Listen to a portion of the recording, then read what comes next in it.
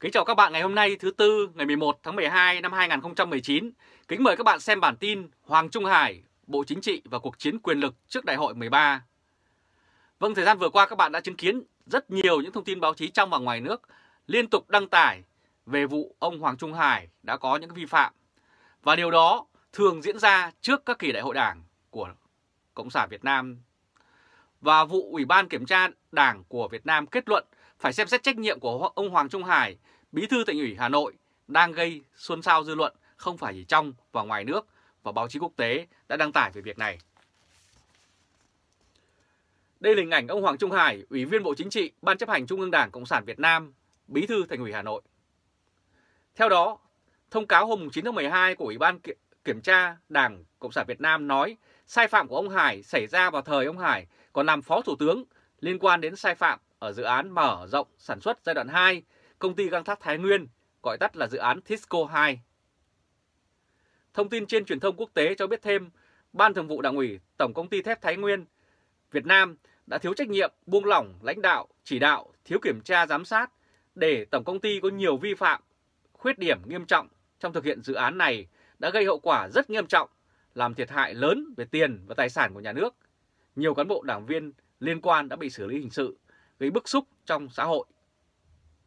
Thì đây là một trong những con bài thường ờ, được các lãnh đạo cấp cao của Đảng Cộng sản Việt Nam tung ra ngay trước kỳ đại hội. Họ tìm mọi cách để vạch ra những sai lầm và nếu hiện tại không có thì họ sẽ lôi những vấn đề trong quá khứ ra để quy kết những đối thủ chính trị của mình. Thì đây là cái điều mà chúng ta cần quan sát kỹ trong thời gian tới. Và vụ Tisco 2 này đã bị phanh phui khá lâu, nhưng không thấy nhắc đến trách nhiệm của ông Hải hay nay bỗng nhiên lại được đem ra xử lý. Thì đây là một cái đòn thường các uh, ủy viên Trung ương Đảng và các uh, ủy viên Bộ Chính trị cũng hay tung ra. Đây là công trình cỏ mọc hoang tàn của Tisco 2. Theo tìm hiểu của truyền thông quốc tế, dự án Tisco 2 có quy mô đầu tư 8.104 tỷ đồng, được găng thép Thái Nguyên, gọi tắt là Tisco, thực hiện xây dựng từ năm 2008. Nhưng sau gần 10 năm xây dựng, hiện nay nhà máy rơi vào cảnh đắp chiếu cho đến nay. Trong khi đó, nhà thầu là tập đoàn luyện kim Trung Quốc, viết tắt là MCC, đã bỏ dở dự án và rút về nước từ rất lâu. Theo số liệu của báo Tuổi Trẻ, tổng giá trị thanh toán tính từ ngày 31 tháng 12 năm 2016 là gần 4.500 tỷ đồng. Mỗi tháng phải trả lãi trên 40 tỷ đồng. Mặc dù hơn 4.500 tỷ đồng đã được đổ vào, nhưng thực tế cỏ dại mọc xung quanh nhà máy, khắp nơi là ống thép, khung nhà, thiết bị làm giang dở. Từ nhiều năm nay, nhà máy này đắp chiếu, các thiết bị được đầu tư mua tiền tỷ về lắp đặt, nay chịu cảnh dì xét dưới khu mưa nắng của. Và đây là hậu quả của những cái kinh tế thị trường nhưng lại rất meo mó ờ, được Đảng Cộng sản Việt Nam phát động trong thời gian vừa qua vì nó không đi theo quy luật chung của cung cầu.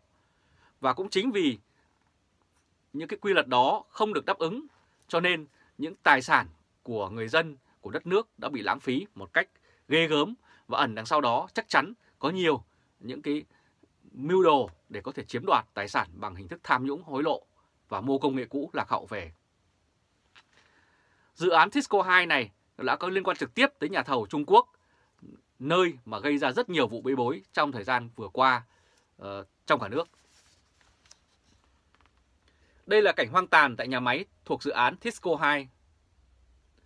Dự án Tisco 2 được phê duyệt vào năm 2005 với tổng vốn hơn 3.800 tỷ đồng, tương đương 240 triệu đô la Mỹ vào thời kỳ đó. Dự án này có tới hai gói thầu chính, trong đó gói thầu EPC, dây chuyền, công nghệ luyện kim được tổ chức đấu thầu và tập đoàn xây dựng luyện kim Trung Quốc MCC trúng thầu với giá hơn 160 triệu đô la Mỹ. Dự án này đã phải kéo dài, chậm tiến độ trên 10 năm, đã tạm dừng thi công từ năm 2013 đến nay. Tổng mức đầu tư của dự án đã phải tăng, nhưng toàn bộ các hạng mục chính chưa hoàn thành, nhà thầu Trung Quốc chưa chuyển đủ thiết bị theo danh mục, tình trạng máy móc thiết bị hư hỏng, sai khác nhau về xuất xứ, thông số kỹ thuật. Và dường như với những đống đổ nát như thế này thì không thể tiếp tục sản xuất được. Với công nghệ bây giờ cũng đã quá lạc hậu và nó gây ô nhiễm môi trường một cách hết sức trầm trọng tại Việt Nam. Và nếu nhà máy này hoạt động thì chắc chắn sẽ gánh thêm tiếp những món nợ và những vấn đề lỗ lớn sẽ phải bị đưa ra Và điều đó cũng sẽ làm cho những cái người mà xây dựng cái dự án này và và chỉ định xây dựng cũng sẽ gặp những cái bất chắc và chắc chắn sẽ bị kết tội. Và sau khi dự án bị tạm dừng thì vào tháng 4 năm nay, Bộ Công an đã bắt đầu vào cuộc để điều tra vì có những nghi vấn xung quanh vấn đề tham nhũng và À, những cái việc khác trong việc hối lộ. Hồi tháng 4, Công an Việt Nam bắt đầu bắt tạm giam 5 nhân vật bao gồm Mai Văn Tinh, nguyên Chủ tịch Hội đồng Quản trị Tổng Công ty Thép Việt Nam, Đậu Văn Hùng, nguyên Tổng Giám đốc Công ty Thép Việt Nam, Trần Trọng Mừng, nguyên Tổng Giám đốc Công ty Tisco, Trần Văn Khâm, nguyên Chủ tịch Hội đồng Quản trị Tổng Công ty Tisco, Ngô Sĩ Hán, nguyên Phó Tổng Giám đốc, trưởng Ban Quản lý Dự án Mở rộng Sản xuất giai đoạn 2 Công ty Tisco. Năm người này bị khởi tố về tội vi phạm quy định về đầu tư công trình xây dựng và gây hậu quả nghiêm trọng.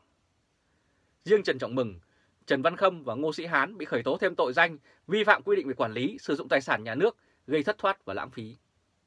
Và đây là hình ảnh các bạn có thể thấy rất rõ rằng cái cổng vào của khu công nghiệp ờ, uh, Căng Thép Thái Nguyên và tại đây uh, có những khẩu hiệu thường dơ ra uh, với việc mà mong muốn sản xuất rất nhiều thép cho đất nước, cho tổ quốc. Và đây là cái điều mà cứ đi lại quy luật thị trường rất nặng nề vì không phải sản xuất để phục vụ cái tiêu dùng mà sản xuất vì mục đích chính trị. Theo truyền thông quốc tế, việc xem xét kỷ luật các quan chức cấp cao, bao gồm ông Hoàng Trung Hải và ông Vũ Huy Hoàng, là một phần trong chiến dịch chống tham nhũng của ông Nguyễn Phú Trọng trong thời gian qua. Đây là hình ảnh Bộ trưởng Bộ Công Thương khi đó, ông Vũ Huy Hoàng. Thông cáo của Ủy ban Kiểm tra Trung ương Việt Nam, Trung ương Đảng Việt Nam nêu lên một loạt các nhân vật quan trọng và chức sắc bị phát xác định là đã có những cái sai lầm trong thời gian vừa qua. Cựu Bộ trưởng Bộ Công Thương Vũ Huy Hoàng bị nêu là chịu trách nhiệm chính về những vi phạm, khuyết điểm của Ban Cán sự Đảng, Bộ Công Thương. Và theo những thông tin chúng tôi biết thì ông Vũ Huy Hoàng hiện nay cũng ờ, dường như bị uh, theo dõi và không được xuất cảnh. Nguyên Thứ trưởng Lê Dương Quang, Đỗ Hữu Hòa, Đỗ yêu Hào cùng chịu trách nhiệm về những vi phạm, khuyết điểm của Ban Cán sự Đảng Bộ Công Thương và trách nhiệm cá nhân trong thực hiện chức trách, nhiệm vụ được phân công. Nguyên Phó Chủ tịch, Phó Chủ nhiệm Văn phòng Chính phủ Việt Nam Văn Trọng Lý, Nguyễn Hữu Vũ cùng với Nguyễn Văn Tài, nguyên Phó Vụ trưởng Vụ Kinh tế ngành, Đỗ Cảnh Dương, Tổng cục trưởng Tổng cục Địa chất và Khoáng sản, Bộ Tài nguyên và Môi trường, nguyên cán bộ Văn phòng Chính phủ Việt Nam nói đã có vi phạm, khuyết điểm trong tham mưu lãnh đạo cho lãnh đạo Chính phủ Việt Nam cho ý kiến chỉ đạo đối với dự án Tisco 2. Thì đây là rất là nhiều những cái tên tuổi mà liên quan đến cái sự đầu tư hàng nghìn tỷ ờ, đồng và hiện nay không thể thu hồi được vì công nghệ đã quá lạc hậu và hơn nữa nhà máy cũng không thể xây dựng xong.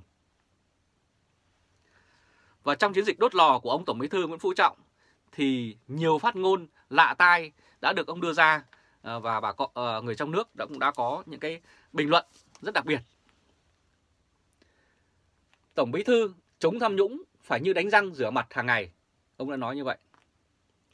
Tổng Bí thư Nguyễn Phú Trọng tiếp tục khẳng định quyết tâm chống tham nhũng của Đảng là không chỉ làm một lần mà phải liên tục như việc đánh răng rửa mặt hàng ngày. Và đây là hình ảnh của ông Tổng Bí thư Nguyễn Phú Trọng trả lời các câu hỏi của cử tri vào sáng ngày 17 tháng 10 ờ, trong thời gian vừa qua. Và đây là những cái điều mà người dân ờ, cũng đã bình luận rất nhiều. Và dường như ông chỉ dùng cơ chế đảng để ờ, quản lý đất nước nhưng mà lại không dùng luật pháp.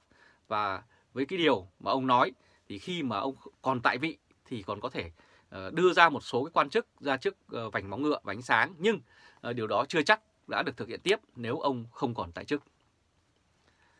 Và ngoài ra, ông Tổng Bí thư Nguyễn Phú Trọng cũng có những câu rất đặc biệt như sau. Tổng Bí thư tham nhũng vặt như ghẻ ruồi rất khó chịu. Và rõ ràng với cái số lượng tiền là hàng nghìn tỷ đồng như thế thì không phải là ghẻ ruồi nữa mà nó, nó là một cái căn bệnh cực kỳ trầm trọng. Ông nói đi làm gì cũng phải phong bao, phong bì, lót tay, gợi ý, tham nhũng vặt như ghẻ ruồi rất ngứa ngáy, khó chịu chứ không chỉ có tham nhũng lớn. Tổng Bí thư Nguyễn Phú Trọng đã nói như vậy. Và rõ ràng nhiều người cũng đặt câu hỏi thế nào là ghẻ ruồi và tại sao ông Nguyễn Phú Trọng lại so sánh với bệnh ghẻ ruồi thì cũng xin chia sẻ với các bạn là ghẻ ruồi như sau. Ghẻ ruồi là một thể lâm sàng của bệnh ghẻ với các đặc điểm các uh, chấm nốt trên da giống con ruồi nên thường gọi là ghẻ ruồi để gần lại các bạn thấy rất rõ. Dấu, dấu hiệu của ghẻ ruồi như thế nào? Biểu hiện của ghẻ ruồi dạng nốt trên da xuất hiện mụn nước, đỏ giải rác hoặc các vết mẩn, ngứa li ti. Vị trí thường thấy là bẹn, đùi, tay, chân, lưng ngực, thậm chí là cổ mặt và toàn thân. Hiện tượng ghẻ ruồi gây ngứa, bệnh nhân ghẻ luôn có cảm giác ngứa, nhất là khi nghỉ ngơi, ngứa về đêm. Bệnh ghẻ này ờ, này càng gãi thì bệnh nhân càng bị ngứa và da ngày càng uh, sẽ bị uh, thâm như thế này hơn.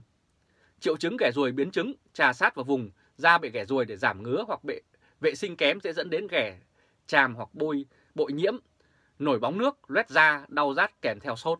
Thì đây là cái giải thích của cái căn bệnh ghẻ ruồi. Và chắc chắn rằng có lẽ ông Nguyễn Phú Trọng, Tổng Bí thư Nguyễn Phú Trọng, Chủ tịch nước đã từng bị ghẻ ruồi, ờ, nhưng mà không rõ bị ghẻ ở chỗ nào, bị ở bẹn, ở nách hay bị háng hay ở đâu đó, cho nên ông mới biết cái cảm giác khó chịu như bệnh ghẻ ruồi. Thì đây là cái điều mà chúng ta cũng nên quan sát trong thời gian tới. Và tuy nhiên, theo một số ý kiến trên mạng, thì càng gần đến đại hội đảng uh, lần thứ 13 của Đảng Cộng sản Việt Nam thì sẽ càng có những cuộc thanh trừng ngày càng dữ dội xảy ra ngay trong nội bộ của Trung ương Đảng, Bộ Chính trị và nhiều cấp khác nhau.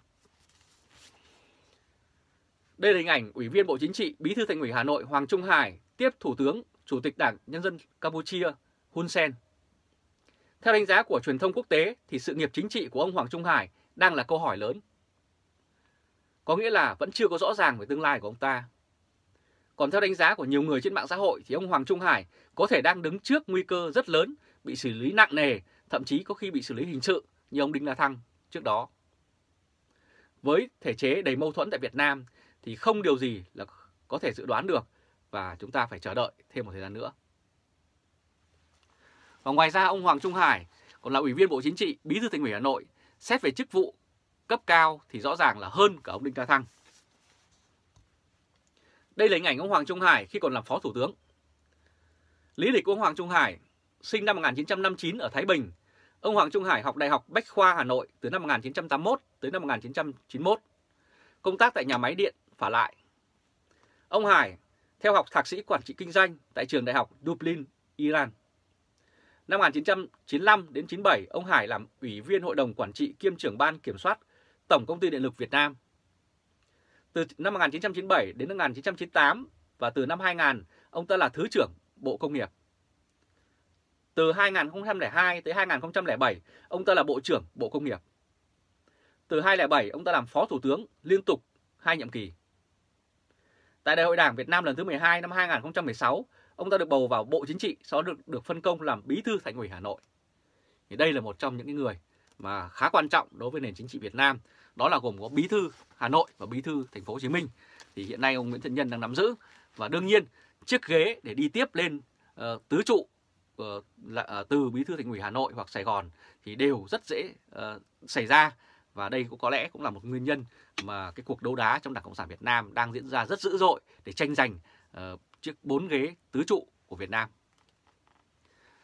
Một thực tế là hơn 90 triệu người dân Việt Nam hiện nay đang sống trong nước phải gánh chịu đó là tệ nạn tham nhũng đã ngấm sâu vào hàng triệu đảng viên Đảng Cộng sản Việt Nam trong hơn 70 năm qua. Đặc biệt là thời gian gần đây càng trở nên trầm trọng hơn khi ông Tổng Bí thư, Chủ tịch nước Nguyễn Phú Trọng vẫn cố cưỡng ép người dân và các doanh nghiệp cả nước phải đi theo nền kinh tế thị trường định hướng xã chủ nghĩa đầy ảo vọng. Đây có lẽ là thời kỳ cuối cùng của chủ nghĩa cộng sản, chủ nghĩa xã hội tại Việt Nam, nên chúng ta sẽ được chứng kiến sự vơ vét bằng mọi cách của các quan chức Đảng Cộng sản để họ còn kịp lên chiếc xuồng cuối cùng, rời đi trước khi con tàu chủ nghĩa Mark Lenin chìm hẳn trong chặng đường lịch sử đầy đau thương của dân tộc Việt Nam. Rất cảm ơn các bạn đã chú ý theo dõi chương trình truyền hình trực tiếp của Lê Trung Khoa Thời báo .d ngày hôm nay, thứ Tư, ngày 11 tháng 12 năm 2019. Các bạn hãy để lại bình luận và chia sẻ video cho nhiều người biết, cũng như bấm nút theo dõi YouTube và Facebook Thời báo .d để luôn được cập nhật những thông tin mới nhất, nhanh nhất và trung thực nhất. Chào các bạn và hẹn gặp lại các bạn vào bản tin lần tới. Trung Khoa từ Berlin, Cộng hòa Liên bang Đức.